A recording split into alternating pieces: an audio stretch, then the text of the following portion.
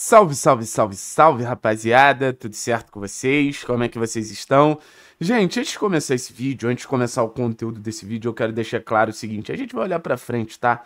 Tava ouvindo aqui a coletiva do Cuca na Transamérica, é, e assim, não acho que faça sentido a gente continuar repercutindo é, as declarações ou ficar repercutindo um profissional que, da maneira mais clara possível, escolheu não estar no Clube Atlético Paranaense. Foi uma decisão exclusivamente do Cuca. Então, assim, a gente poderia fazer react, ia dar visualização pra caramba, mas eu quero continuar conversando com vocês sobre essa possibilidade de o Atlético ter um próximo técnico muito em breve. Alguns nomes estão sendo discutidos, existe essa questão do Fernando Diniz, um certo, não vou nem falar otimismo, uma certa espera pelo Fernando Diniz, mas outro nome que vem sendo muito vinculado ao Atlético, acho que por motivos óbvios, do bom trabalho que ele faz no Operário, do bom trabalho que ele fez tanto nos aspirantes do Atlético quanto na base do Atlético. Rafael Guanais, que também teve trabalhos não tão bons como no Novo Horizontino, ele aparece como uma possibilidade nos últimos, nas últimas horas, né? Eu tenho pensado muito no Guanais. Nas últimas horas eu tenho refletido muito sobre é, qual é o real impacto que uma vinda do Rafael Guanais poderia trazer para o Clube Atlético Paranaense. E eu trouxe novamente um quadro que a gente inaugurou o canal, que são os três pontos, né? Para tentar entender é, o porquê do Rafael Guanais ser um técnico que tem chance de dar certo no Atlético, por que do Rafael Guanais ser um técnico que tem chance de, de, de, de decolar aqui com a camisa do Atlético. Beleza? Eu vou pedir para você deixar o like, se inscrever no canal e lembrar vocês que a KTO é a patrocinadora oficial do canal 3 Pontos. Agradecer a nossa parceiraça e lembrar que vocês podem ter até 100 reais de bônus na KTO utilizando o código 3 Pontos na hora de fazer o seu cadastro. Aponta a câmera do seu celular para a KTO e não perde essa oportunidade. Eu vou trazer um roteirinho que eu preparei aqui, que primeiro tem uma declaração do Alexandre Leitão e segundo tem uma declaração do Rafael Guanais. A primeira declaração do Alexandre Leitão é a partir do momento da saída do Cuca. Agora é dar força para os nossos jogadores. E buscar alguém que entenda o clube. Cheque para o Guanais. Que acredite no elenco. Acredito que cheque no Guanais. Que possa nos ajudar nesse ano tão importante. Buscar alguém que queira estar aqui. Desculpa, gente, mas um treinador que está no operário um treinador que rodou tudo que o Guanais rodou recentemente, está no Atlético a oportunidade da vida desse cara. Eu tenho certeza que um profissional que quer dar certo num cenário tão difícil quanto é o cenário do futebol, esse cara ele, ele vai lidar com a oportunidade de estar no Atlético como oportunidade da vida dele. Então acho que compõe muito bem a declaração do Leitão e como eu acredito que ele vai organizar toda essa possível vinda para o Atlético na cabeça dele, o Rafael Guanais. E eu fui atrás de uma declaração do Guanais, que colabora com isso tudo, que foi uma declaração que ele deu logo depois do vice é, do Campeonato Brasileiro Sub-20. Ele falou o seguinte: temos que saber que é uma chance única, lembrando, Guanais treinando a base. Temos que saber que é uma chance única, que é um privilégio.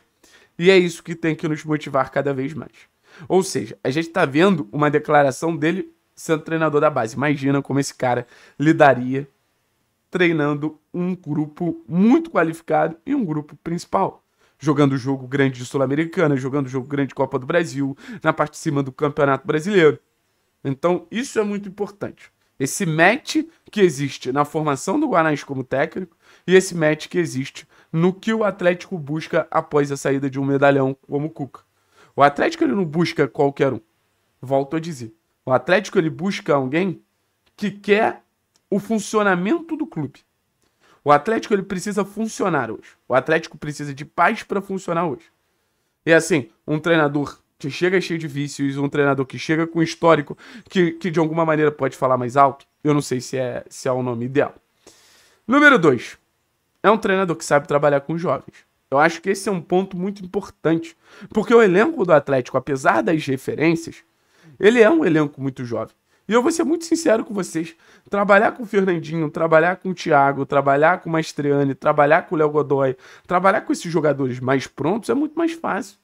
Esses jogadores, de alguma maneira, eles se garantem. E eu acho que foi fácil pro Cuca trabalhar com esses personagens. O único momento que dificultou realmente foi quando o Cuca não deu oportunidade suficiente para alguns desses personagens. Mas o problema do trabalho do Cuca não foi o Fernandinho nem o Thiago Heleno, por exemplo. Foram muito mais os, jogadores mais jovens. Então, assim, ter um técnico que vai chegar, vai saber lidar com o Canobi, vai lidar, saber lidar com o Zapelli, vai saber lidar com o Esquivel, vai saber lidar com o Kaique, vai saber lidar com o Coelho, vai saber lidar com o Julimar, vai saber lidar com o Christian. Eu acho que o diferente do Atlético está nos jovens. Eu acho que talvez isso faça o, o Rafael Guanais ser a melhor opção para o Atlético. Pegar um Zapelli, potencializar. Pegar um Esquivel, potencializar. Pegar um Coelho, potencializar. Pegar um Christian, potencializar. Junto com as nossas referências, isso vai se tornar o, o match perfeito. Isso vai se tornar a junção perfeita. Das referências dando suporte para os jovens poderem brilhar e entregarem o máximo. Porque o investimento do Atlético foi para trazer também muitos talentos jovens. E acho que o Cuca conseguiu, de alguma maneira, desenvolver alguns deles. Mas o tato do, do, do Guanais pode ser um diferencial ainda maior.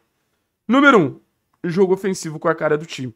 Se você não lembra, por exemplo, do estadual de 2019, que o Guanais foi campeão, 18 foi Thiago Nunes, 19 Guanais ou se você não lembra do time vice-campeão brasileiro sub-20, eram times muito ofensivos, eram times muito para cima, eram times muito agressivos. Há times que saíam rápido da defesa, chegavam rápido no ataque. Esquemas táticos diferentes, o que mostra que tem ali um conteúdo, uma bagagem tática interessante. O time de 19, um, um 3-5-2, com Vitinho como ala, com jogadores flutuando bastante, trocando muito de posição o time de 21 ou 20, que foi vice-campeão brasileiro, um 4-2-3-1 com protagonismo muito grande com os pontos, trabalhou com o Julimar, trabalhou com o Léo Link, sabe? Então acho que esse Atlético até pode dar certo no jogo reativo, no jogo de transição, mas vejo esse Atlético com mais encaixe ainda no jogo ofensivo. O próprio o próprio operário do, do, do, do Rafael Guanás. O Operário deu um trabalho desgraçado para o Atlético ganhar um time de outro nível. E sempre com futebol ofensivo, com jogo de transição, é verdade, mas chegando ao gol do, do Atlético, obrigando o Bento, o Léo Link, enfim, fazerem as melhores defesas possíveis. Contra o Santos agora, que também é um time com investimento muito maior que o Operário. O, o, o que o Guanás conseguiu fazer de empurrar o Santos para trás, de diminuir o espaço do Santos, foi muito legal de acompanhar também. Então acho que dentro disso, o mais importante nesse momento é a gente também debater ideias de jogo. E acho que a ideia de jogo é compatível a um time que clama, clama por ofensividade. É uma, é uma aposta arriscada. Também é uma aposta arriscada, mas foi o que eu falei. Acho que nesse momento, uma aposta segura é difícil, cara. Eu acho que nesse momento, uma aposta segura é muito difícil. Talvez a aposta mais segura no mercado seja o Ramon Dias mas eu não sei é, quanto o Atlético está disposto a fazer o um investimento no Ramon Dias. Rafael Guanais, para mim, ele tem critérios e tem argumentos para ser uma grande opção. O Rafael Guanais pode chegar aqui e dar errado, como, por exemplo, o Osório deu errado. E não é pelo nível de experiência que um deu certo outro deu errado, mas é porque o futebol tem, tem vários poréns.